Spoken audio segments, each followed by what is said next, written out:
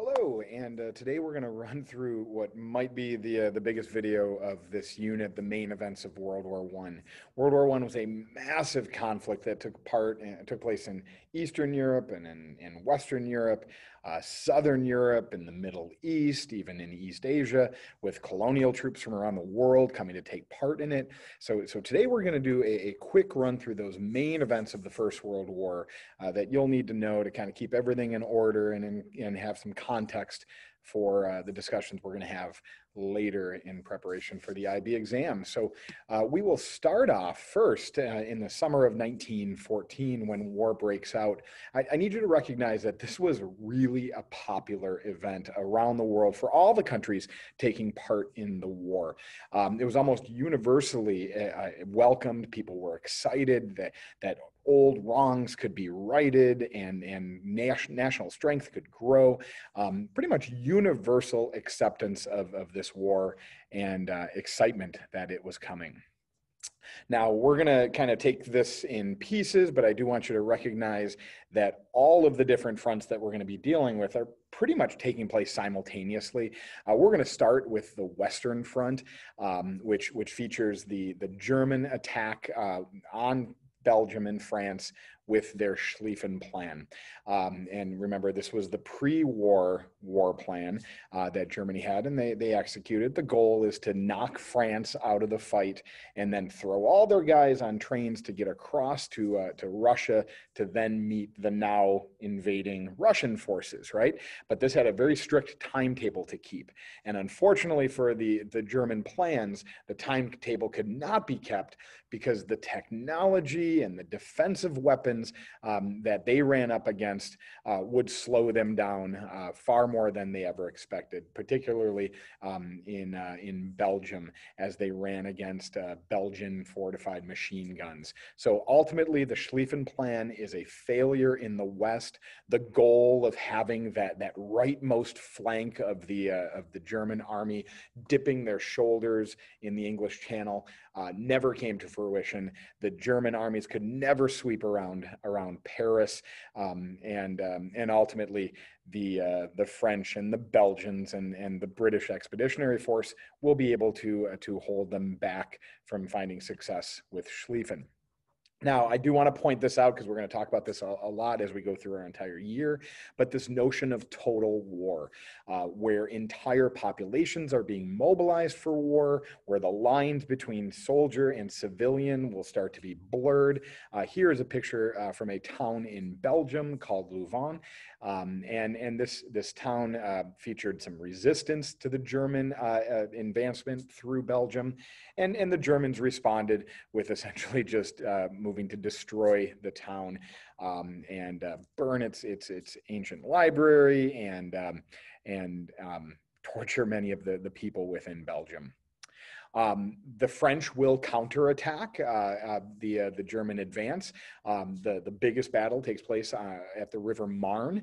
Um, I, prior to this, uh, please know that the French Plan 17 that we had talked about was a failure as well. That move to advance into Germany um, through Alsace and Lorraine that failed as well. Any movement was hard in this war because the defensive weapons, particularly machine guns, were were just too formidable the French counterattacked at the German uh, right flank and, and ultimately stopped the German advance.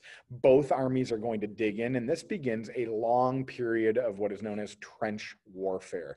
Uh, you can see on the map here uh, that a, a line of British and German, or British and French and Belgian and German trenches are going to stretch from the English Channel all the way to the Alps in the south. And, and those lines, those very narrow lines, ultimately become the Western Front for the duration of the war, give or take a handful of miles in either direction.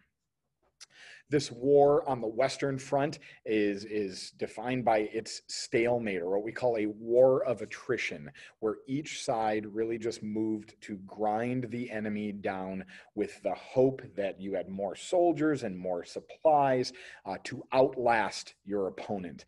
Um, the defenses were too strong. In World War I, defensive weapons really ruled the day.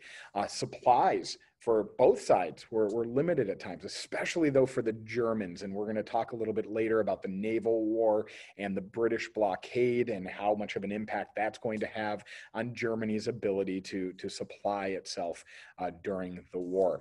We've got new weapons that are developed during the war, weapons obviously like the advancing machine guns, but weapons like flamethrowers and poison gases that will be used on both sides of the war, development of, of the tank, development of, of aircraft in warfare um, will, will have an impact on, on continuing this, this stalemated war um, and leading to tremendous losses on both sides um, highlighted by the disasters um, in, in France at the Battle of Verdun and the Battle of the Somme River um, in the summer of 1917.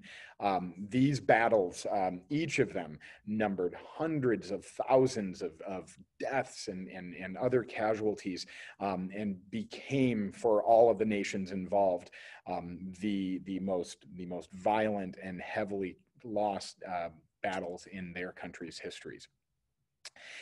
In 1917, the, United States is going to arrive in the First World War, declaring war in April of 1917. We'll touch on this a little bit more later, but, but two main factors um, during the war years um, for the American um, declaration of war would be the resumption of, of German unrestricted submarine warfare. Again, we'll talk about that more when we deal with the naval war.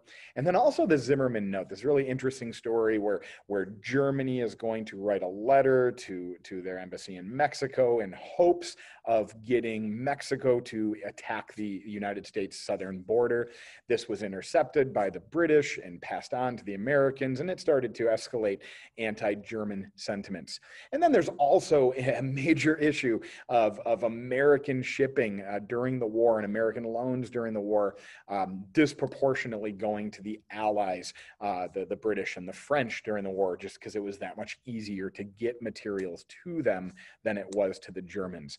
So the Americans are going to declare war in April of 1917, but because we've got to literally build an army and then get them across the Atlantic, the United States doesn't really have an impact on, on the battlefields of World War I until we get to early 1918. But that impact will be, be felt. Uh, this, this influx of new soldiers coming in uh, to the, the Allies on the Western Front um, at the same time when Germany is really throwing its last efforts into the war are, are going to be um, extremely beneficial. That last effort for the Germans will be known as the Spring Offensive, uh, also known as the Ludendorff Offensive, uh, named after the, uh, the German general in charge of it. Um, this was Germany's last hope to break through um, Allied lines in the West, to break the stalemate, throwing everything that they had um, at the Allied lines. And, and ultimately, it, it is a failure. And the German High Command in the, in the fall of 1918 will move to to sign an armistice to end this conflict. On the Eastern Front, we have a very different story. Instead of the stalemate that we saw on the Western Front, it's going to be much more mobile in the East. Uh, the, the Russian armies uh, mobilized their armies much quicker than the Germans had ever thought they could, and are actually invading into East Prussia, the, the eastern portion of the German Empire, um, as early as August of 1914. Um, early battles are disastrous for the, for the Russians. Uh, battles at, at Tannenberg and Masurian Lake lakes.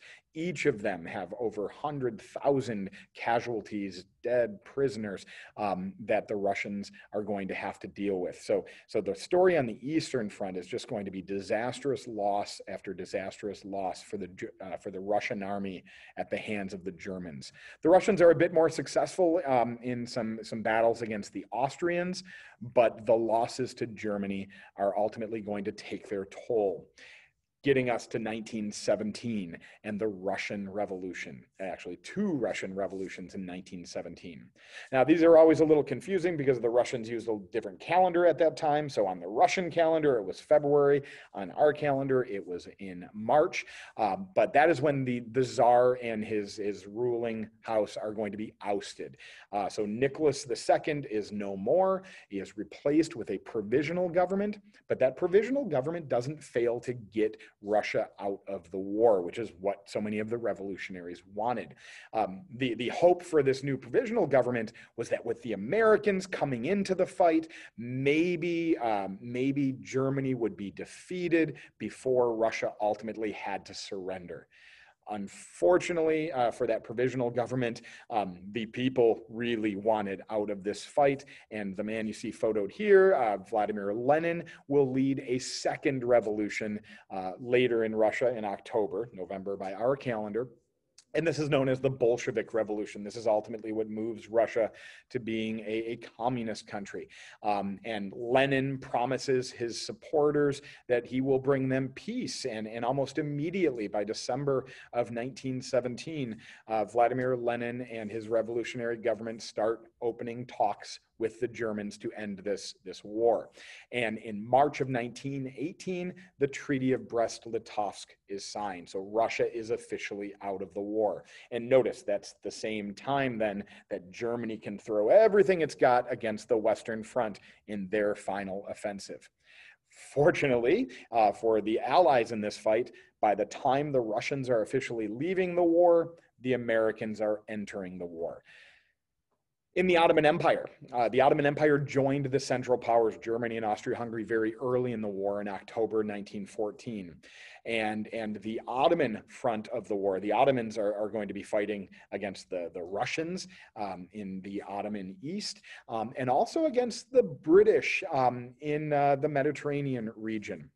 Uh, the most infamous battle within the Ottoman region of the war is going to be the Gallipoli campaign, where, where Britain and many of its colonial soldiers, particularly from Australia and New Zealand, um, are going to, uh, going to go and fight um, on the Gallipoli Peninsula um, in the Ottoman Empire. This lasts many months and, and ultimately uh, costs hundreds of thousands of, of of British um, subjects' lives, and and never truly opens up the uh, the straits between the Mediterranean Sea and the Black Sea, um, which was the whole goal to to get Russia more supplies to help them in their fight, and it was ultimately a failure and considered by by Australians and New Zealanders um, one of the greatest military disasters um, in their country's history.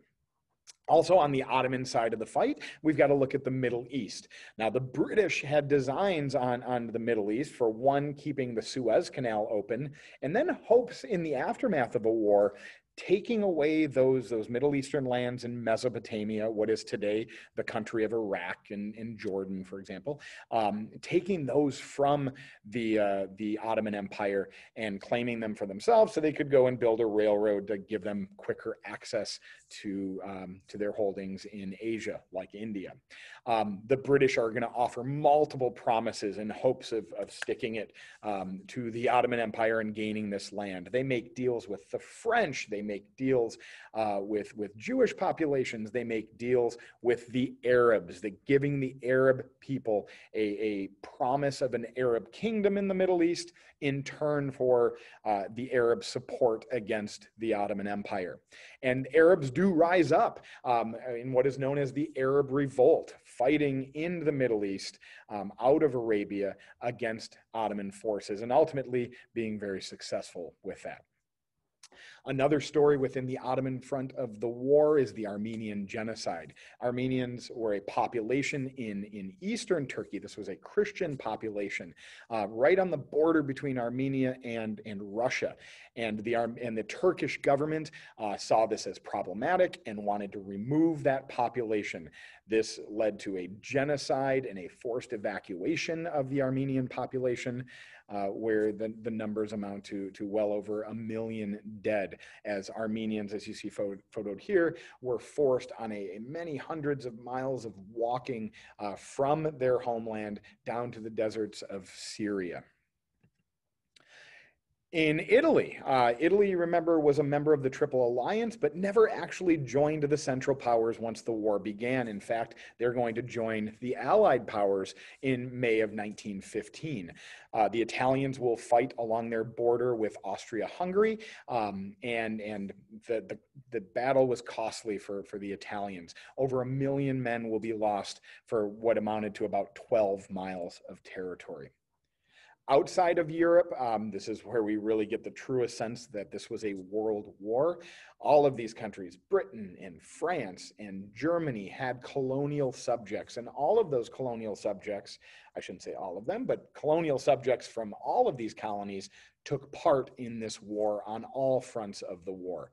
Um, and also worked within their colonies producing supplies and materials and food for the warring nations. Um, allies would move to seize German colonies in Africa and the Pacific. And Japan joined the Allies as well, and we'll talk about them much more in their actions in World War I in a later video. Japan will move against German holdings in the East. So there's a lot to unpack there. Um, it certainly is a world war. Um, it certainly uh, showed itself in all aspects or all parts of Europe, but even beyond as well. And we'll talk to you next time.